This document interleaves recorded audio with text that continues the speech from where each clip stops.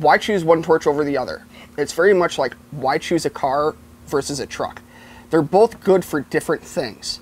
Where if you look at a single torch, it is going to be more precision heating in specific locations on the tip.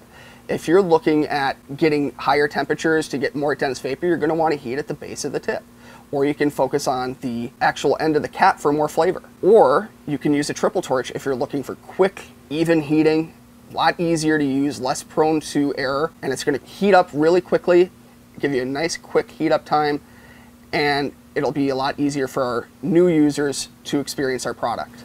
Now, if you are going to use a single torch, I do recommend being a little bit more familiar with the product because it is precision. If you hold the heat in too long on a specific area of the tip, it may lead to combustion. So you do want to be careful.